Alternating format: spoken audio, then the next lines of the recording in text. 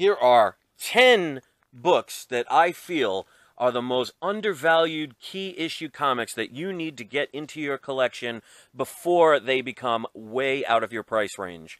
So if you want to know what they are, you'll just have to stick around and have fun.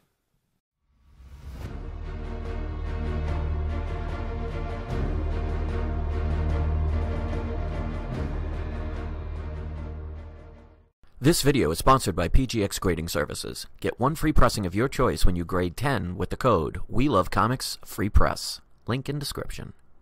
Hello, ladies and gentlemen. My name is Chris, and this is We Love Comics, and I am about to do another top 10 list to help especially new or older collectors learn what books they really need to get in their collections.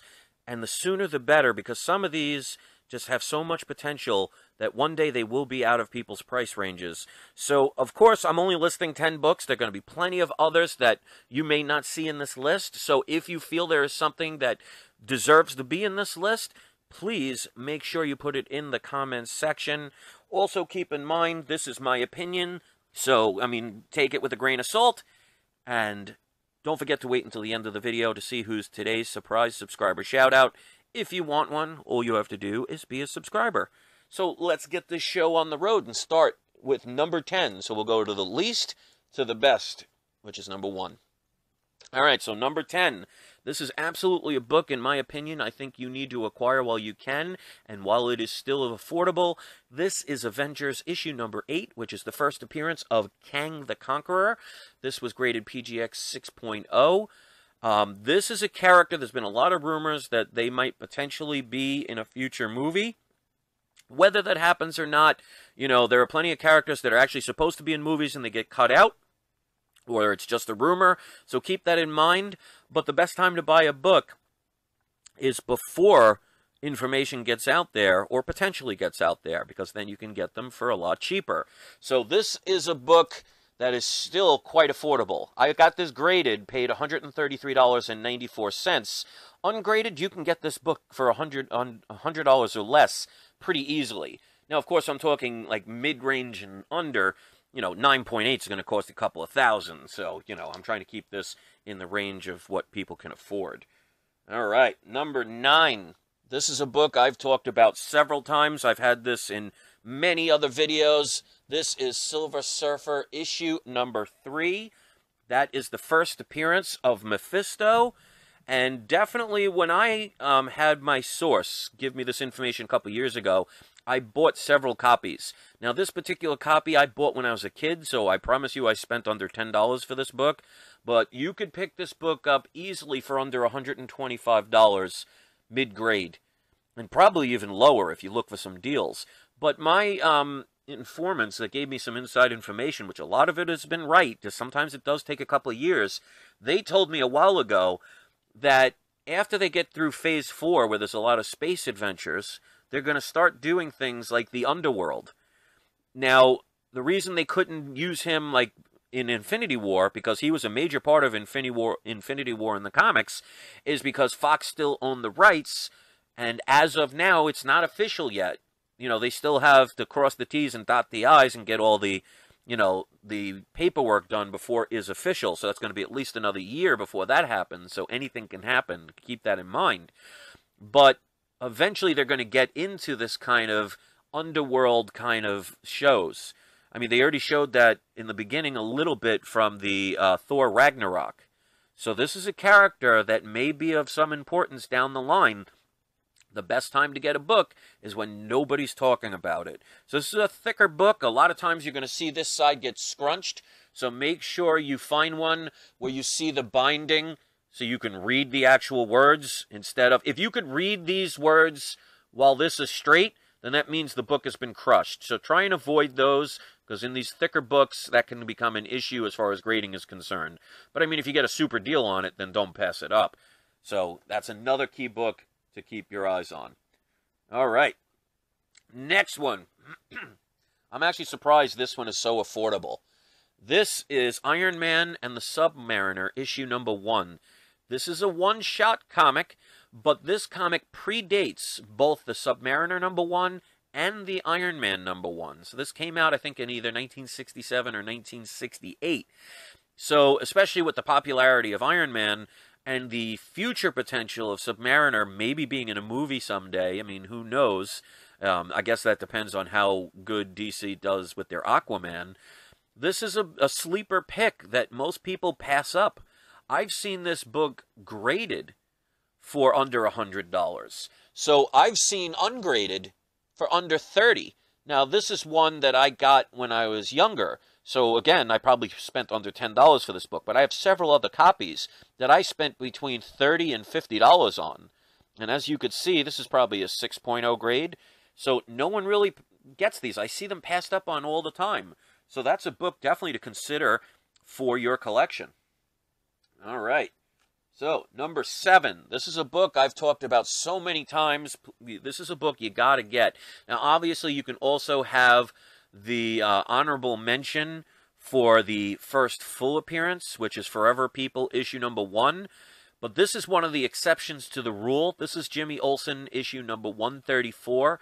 This is the cameo appearance of Darkseid, or Darkseid, whatever you want to pronounce it. So, even though the other comic I just mentioned, Forever People number one, is the first full appearance. This is the more desirable one.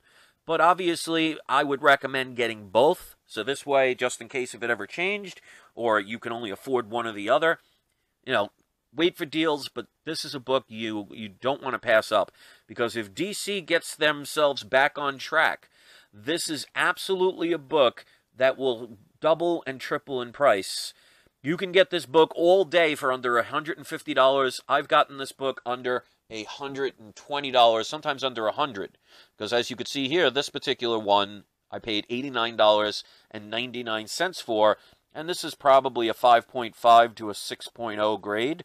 So pick that one up. And as you can see, I do have both Marvel and DC, even though I mainly collect uh, Marvel. All right, so the next one I have a bunch of, but I mean, I literally have 30,000 comics and I tried to search for it. I mean, just to go to my storage bin for one comic and search for hours was just not worth it. So I'm going to tell you what the comic is and then I'll pause the video and I'll show you an image of that book. So this way you'll get to see what it, at least what it looks like. But make no mistakes, I have several copies and this is, I think, probably my sleeper pick out of all of them, which is X-Men 221. Now that's the, the most modern book in this list. Now it's Copper Age, so it's not really modern, but considering most of these are Silver Age, um, that is the first appearance of Mr. Sinister. Now they gave a little bit of a cameo with the movie in Logan, but it, it, in my opinion, especially once Disney gets the rights to the Fox characters, I mean they have so many new villains that they can add to their repertoire that Mr. Sinister might be one that they use eventually. And that book, I mean, I've gotten several copies under $25. So I'm going to pause this for a second, and this way you could see what that book looks like. Okay, so that is definitely a book to pick up. You can get that one all day for under $50. Even graded books you can get it for under 120, and I'm talking like 8.5 to 9.2 range. So, of course, always look for deals, but that one, you know, especially if you can get it raw for cheap, snatch them up. Again, remember, you're taking a chance, so always keep that in mind. All right, next up, this is another book I have recommended before. I have probably four to six copies of this book. This is the Submariner issue number one. Now, as far as the rights are concerned, it's a little bit sketchy on who owns all the rights because there's a debate that goes back all the way to the Golden Age because this character did originate from the Golden Age. But if you know anything about Marvel, you know, if you, and especially Disney, if you put out enough money, you can get things done. Because remember, the Hulk is not owned by Marvel. The only way they got around it is because when they did whatever agreement they did with, I believe, Universal, um, they had a clause that said as long as they didn't do a Hulk solo movie, they would be able to, you know, do Hulk in there, even though they technically don't own the rights. So it's a little confusing with some. I mean, even look at Spider Man. Marvel does not own the rights to Spider Man. They're basically borrowing them, borrowing them from Sony. So if they wanted the Submariner good, you know, bad enough, you put enough money into it, it'll get it done. So there are no guarantees with this book, but again, it's a book that you can get relatively cheap. And maybe Marvel's waiting to see what um, DC does with Aquaman to see if it can be done and see if it's successful. You never know because they do. Hollywood does like to copycat itself. We see that all the time. Now, this is a book again you can get for under 125 and under. I think all five or six copies I have, I don't think I've ever paid $100. This one I paid 61. So this one can get faded at times. Now it's going to be hard to tell because a lot this blue is not supposed to be light blue all over the place. There is supposed to be a little bit of white around there, but make sure there is especially in this area is the light blue because a lot of times from here down tends to fade. You can always tell if it's faded by the blue in here. See how that's a deeper type of blue? A lot of times that'll fade, that'll kind of give you an indication. But again, because of the fact if he's ever used in a movie, you know, most people are not going to be able to afford his Golden Age books because even the ones that are not number ones are very expensive. So this will be the next best thing they'll gravitate to. And the reason I'm not mentioning Fantastic Four issue number four in this list is because that's already an expensive book. So, you know, I'm trying to keep it within the price range, except for the last maybe three books. I want to keep them affordable. So this is definitely a book people will go after. All right, and speaking of the Marine characters, this is issue, this is the fourth on the list. Another DC book. This is Showcase Presents Aquaman and Aqualad, issue number 30.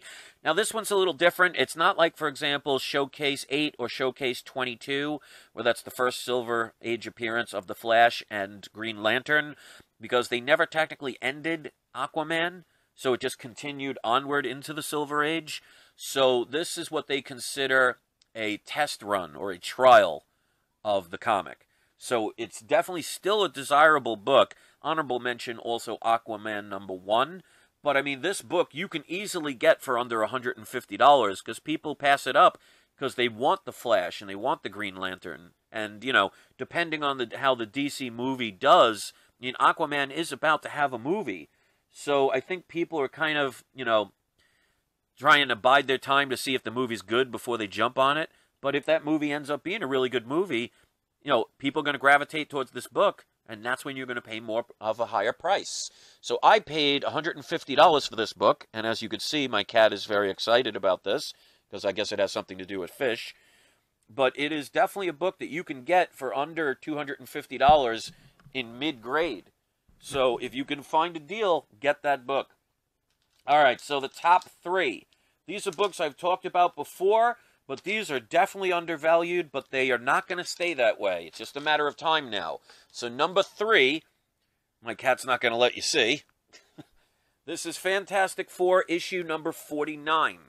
I got this one, uh, CGC 5.0. I have like three or four copies of this book. I was telling people two years to get this book, two years ago. Now, most people are going to tell you it's issue number 48, and that is a great book but the prices are already starting to skyrocket for that book, and eventually it's going to become unreachable. So obviously, if you can afford a book from 48, get it. But like for example, I bought two graded books. I have three copies of Fantastic Four 48.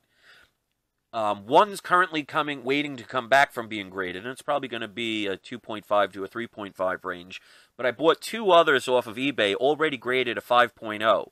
I paid $325 each for those. Those same 5.0s are now selling for around 800. So people are starting to catch on because of the fact that Disney has acquired or is presently acquiring Fox. It's not official yet until all contracts are signed. So it's probably going to be another year before it's official. But the reason this one's such a sleeper is because of the fact that everybody wants 48. They tend to overlook this one, and it still has importance because this book has the second appearance of Silver Surfer, it has the first full appearance of Galactus, and it's the first time either one of those characters was on the cover. Because if you remember, issue number 48, neither one of these characters are on the cover. So there is some significance to this book. And again, this book is already starting to rise. People are starting to take notice of this. But you still have time because it's just waiting on Disney to put out the first Fantastic Four movie and then maybe put out the first Silver Surfer in a movie, and then maybe the first Galactus. Who knows if they do them all at the same time or they spread it out? They spread it out. That means it's just another level each time this is going to go up. So this is still reachable, but it's going to disappear as far as price availability very soon. So pick this up while you can. This book I paid $133.59 for. That's not bad, but right now you're probably going to spend 250 to 275 for the same graded book. So my recommendation is try and take your luck on an ungraded book and uh, make sure you look at the book, ask questions from the seller if you have to, but you can still get this book for under 150 in mid to lower grades. So pick this up if you can. You will not be disappointed a couple years down the line. All right. Number two. This is absolutely a book I've told people to get. This is definitely a undervalued book and just like the one before this is the second option that people are going to start to get to because hulk 181 is starting to get out of price range. I mean i'll give you an example. Just a year and a half ago i ended up getting because my original hulk 181 was stolen i got a uh, pgx 8.0 that i paid $1700 for and i paid 400 for this book. So it came out to roughly around 2200 for the two this book right now is selling on average between five and six hundred dollars in this grade.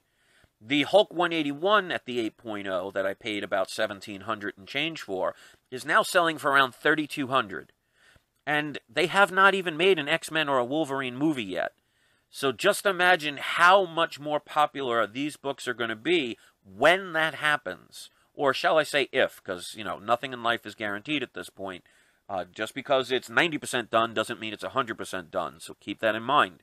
But in my opinion, Hulk 181, if Marvel does it right, I think that book will become what Spider Man number one is today. It's going to get to the point where, like that 8.0 that I have, once a movie comes out and it's a good movie, which Marvel has a very good track record of, that book will probably be a six, seven, eight thousand dollar book.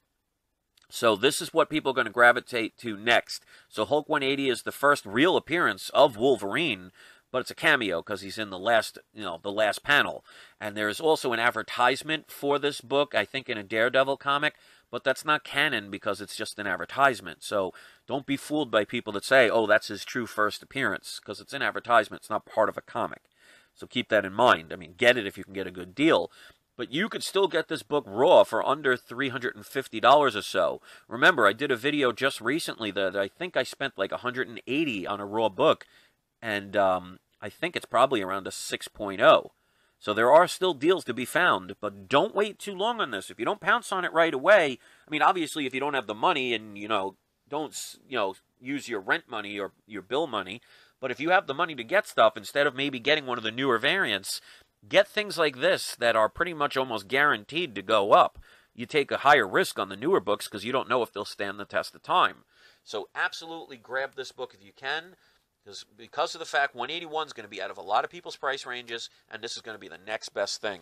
Another honorable mention would be Hulk 182, which is another cameo appearance, but again, early Wolverine. All right, so now we have come down to the number one comic that I highly recommend you get. Uh, in my opinion, I'm really surprised at the prices you could still get this for. Uh, but before I do, don't forget to wait until the end to see who's today's surprise subscriber shout out. If you want one, just hit subscribe and let me know in the comment section, and I'll put you on the list. But the number one undervalued book, in my opinion, is this book right here Daredevil issue number one, which is the first appearance of Daredevil who is now about to have his third season of a very successful Netflix TV show. Now, in my opinion, this is another book that eventually, if they continue that with the with the TV show, if it continues to be successful and watchable and they do season after season, eventually it's going to really start to gain a lot of popularity. And of course, everybody's going to gravitate towards the first appearance. But if you compare this book to like Amazing Spider Man number one, well, actually, you'd have to say Amazing Fantasy 15, or the first appearance of Hulk in Incredible Hulk number one, first appearance of Iron Man, the first that's Tales of Suspense issue number 39, first appearance of uh, Thor, that which is Journey into Mystery 83. Those books are in the tens of thousands. This book in a 6.0 I paid about $810 for this book ungraded. It's worth about $2,300. That's not bad. Try and get an Amazing Spider Man number one for 2300 You probably won't even be able to get a 0.5. So to have a very major character, their first appearance, one of the early Silver Age Marvels, at the prices that you can get this for, even if you can get a 0.5, this is a book you need to get. Because just imagine if he ends up in a movie. And that's not what out, the, out of the realm of reason, because look what DC does. There are a couple of television characters like The Flash who will be getting their own movies, so it's not impossible. And if he continues to become more and more popular, maybe he shows up in a movie. He may not get his own, but what if he shows up? That's just going to make this book more and more desirable and more and more out of reach. Because remember, you have to go with economics, the whole supply and demand. These books, they no longer print them. And as each year goes by, somebody messes up by sending it in, you know, really bad packaging and it gets destroyed in the mail. There are people who lose them, or maybe as they're looking through them and they're putting them in the bag, all of a sudden they pop the staple or they spill coffee on it, or, you know, uh, somebody's mother throws out somebody's comics. That has happened in the past. So you get less and less of these. So the, the supply not only doesn't it stay stagnant, it gets lower as the years go on, but the desirability and the demand for them goes up. Now that naturally will increase the prices, and my cat seems to agree.